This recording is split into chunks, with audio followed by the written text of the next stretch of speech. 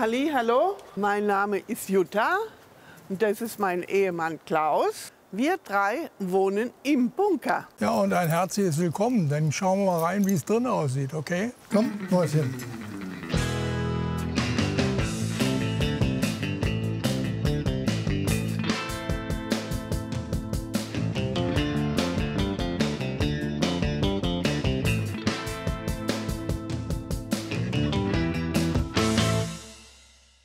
Hereinspaziert. Im Erdgeschoss ist dann der Lift unten. Ach, hier können wir mal kurz anhalten, weil das ist ganz interessant. Man sieht, dass die Wände über einen Meter dick sind, Stahlbeton bewährt. Keine Leichtbauweise.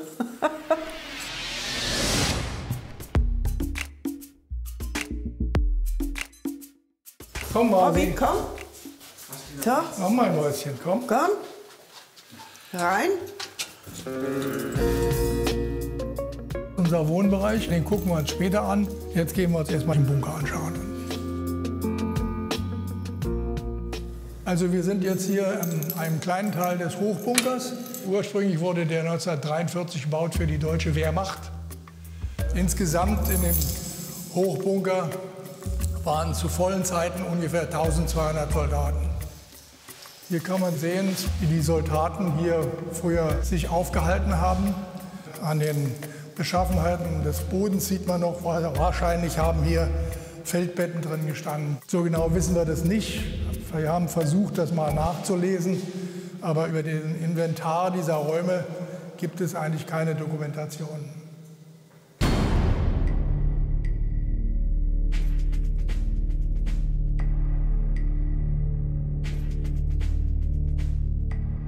Damals gab es ja noch keinen Fahrstuhl. Das heißt, die Soldaten, die mussten alle laufen. So, das ist das Originaltreppenhaus, so wie es eigentlich ursprünglich ausgesehen hat und im täglichen Betrieb war natürlich. Ja.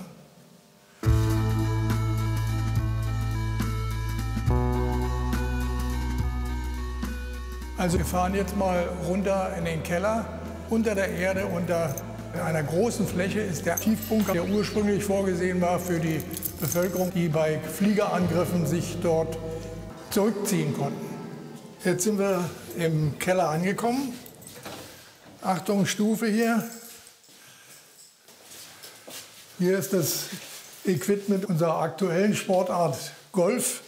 Und das sind die Überbleibsel von unserer eigentlichen früheren Sportart Feldhockey. Ja, 1960 erste Olympische Spiele Rom und 1968 die letzten in Mexiko.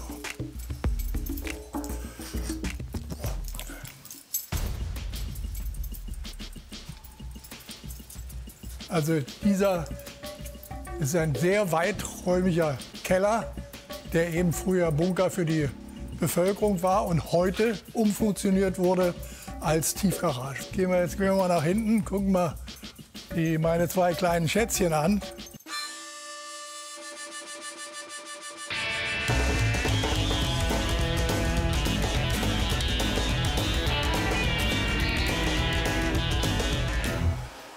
Das sind zwei Willis Jeeps. Die sind beide noch original im Zweiten Weltkrieg gefahren. Der eine ist Baujahr 43, das ist ein Funker, der linke, und der rechte ist Baujahr 44. Als kleiner Junge habe ich viele Filme geguckt und in den Filmen war dieses Auto drin. Und das war faszinierend. Und da habe ich immer gesagt, so ein Auto hätte ich gern mal.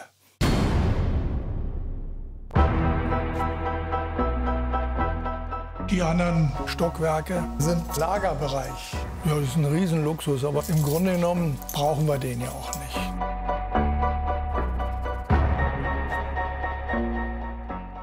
Die Geschichte ist so. Also ursprünglich wurde der 1943 gebaut für die deutsche Wehrmacht. Und äh, nach dem Krieg sind dann die Amerikaner eingezogen und danach dann die deutsche Bundeswehr. Und dann fiel dieses, dieser Bunker an die Stadt. Die Stadt hat ihn übernommen, hat keine, nichts mit anfangen können. Daraufhin hat man überlegt, was macht man? Abreißen. Dann haben aber die Fachleute den Politikern gesagt, was es kostet, so einen Bunker mit anderthalb Meter dicken Wänden abzureißen, was das allein an finanziellem Aufwand ist. Daraufhin macht man etwas, was überall gemacht wird. Man hat ihn unter Denkmalschutz gestellt. Und unser Vorgänger hat den, glaube ich, für einen Euro oder so gekauft. Die Auflage ist nur, er muss erhalten werden. Also wir müssen ihn erhalten. Denkmalschutz kann man auch steuerlich ganz gut nutzen, aber du musst eigentlich nicht viel machen. Der Vorgänger hat ja hier zwei Stockwerke aufgebaut. Und die werden nicht so lange halten wie der Bunker. Also da wird man irgendwann, man sieht doch schon ein bisschen an der Holzverkleidung draußen, dass das in die Jahre kommt. Da wird man irgendwann was machen müssen. Also wir fahren jetzt mal nach oben in den Wohnbereich. So, jetzt sind wir auf dem eigentlichen Bunkerdach. Die zwei Stockwerke sind aufgebaut und wir sind glücklich ohne Ende hier oben.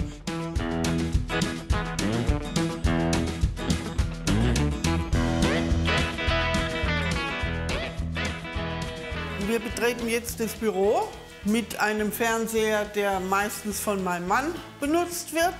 Immer förderlich für eine gut funktionierende Ehe, dass jeder seinem Hobby ungestört nachgehen kann.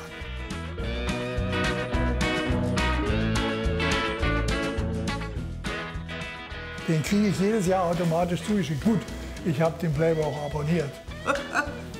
Also, wir gehen jetzt übers Treppenhaus in dein Schlafzimmer. Richtig. Okay? Jawohl.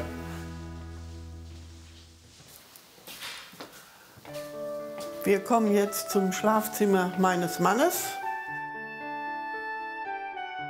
Schränke haben wir alle nachträglich eingebaut.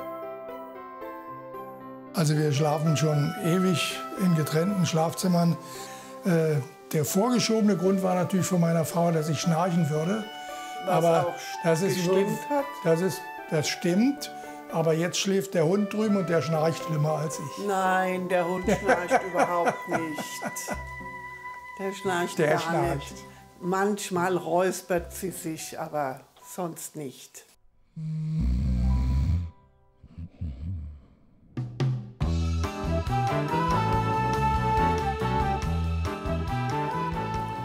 Dann gehen wir langsam in mein Schlafzimmer. Das im Grunde genau auf dem Dach des Bunkers ist. Die runden Fenster und so, das war ja alles offen.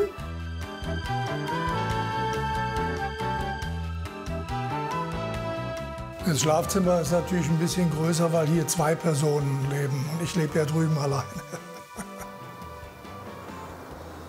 Man kann hier wunderschön sehen, wie dick diese Bunkerwand ist. Also von hier bis da draußen. Hier auf dem Boden stand ja dieses Geschütz. Flugabwehrkanone war Das das. Flugabwehrkanone, ja. Das Rohr ging da oben raus, weil da oben war ja offen. So Gehen es. wir weiter ins Bad.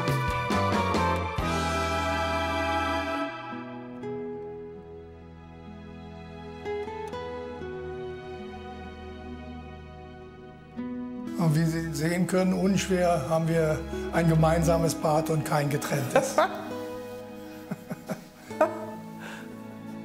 Das Gemälde ist natürlich von meiner Frau, aber das hat auch eine Geschichte. In Davos lebt der Ernst Ludwig Kirchner und mir gefällt vieles, sehr vieles von dem überhaupt nicht. Aber er hat fünf, sechs Bilder gemalt, die mir von der Farbkomposition her unglaublich gut gefallen.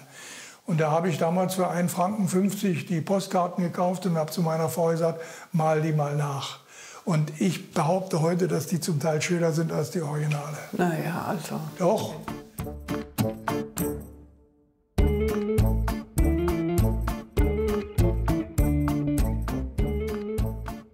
Das ist die Treppe. Wir sind hier hier? im sechsten Stock. Das ist die Treppe runter im fünften Im Stock fünften Stock. wo wir unseren Fitnessbereich haben.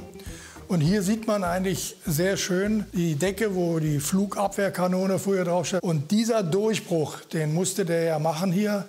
Und das ging nur mit dem Diamantschneider. Und wer sich da auskennt, weiß, dass das Unsummen gekostet hat. Ich weiß die genaue Summe nicht. Aber ich vermute mal, dass allein dieser Durchbruch ungefähr so viel gekostet hat wie ein Einfamilienhaus.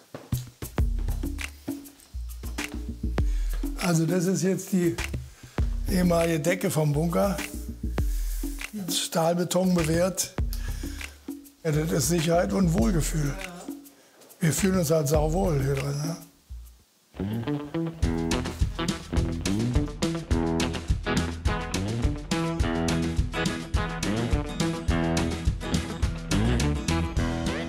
Das Fenster sieht man war früher Schießscharte.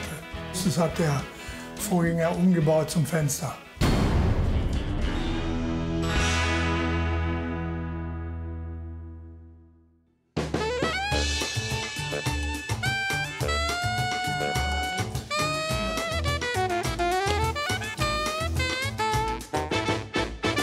So, jetzt sind wir im Wohnbereich vom Bunker.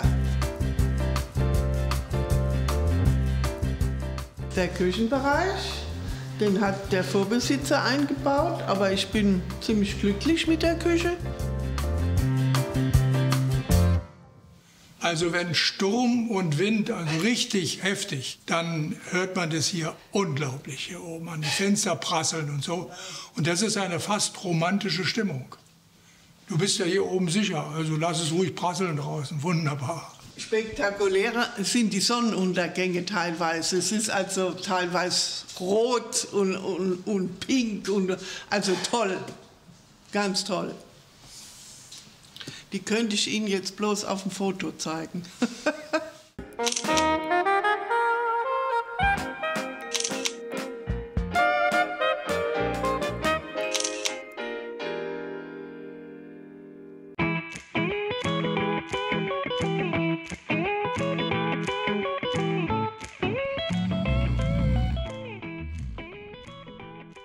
Und was auch ein besonderer Reiz ist, uns stört hier nichts.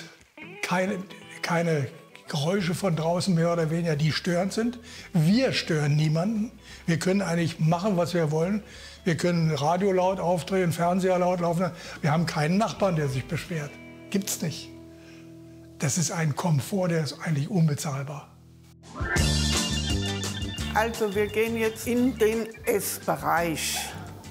Und alles rundherum ist Glas hier. Die Natur hat auch was für sich. Und die sieht jeden Tag anders aus hier. Jetzt das sogenannte Wohnzimmer hier mit der Fernsehecke. Wie gesagt, auch wieder viel Natur draußen vor unseren Fenstern. Mein Mann ist eigentlich der Royeur in der Familie. Das ist für mich einer der schönsten Bunker in ganz Deutschland. Es gibt verschiedene Hochbunker, die noch stehen, aber der ist von der Lage her unschlagbar. Yes, we can fly, fly, fly to the sky.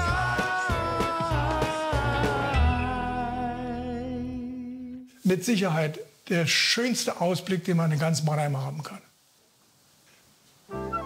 Es war schön, dass ihr da wart, dass wir euch haben kennenlernen dürfen.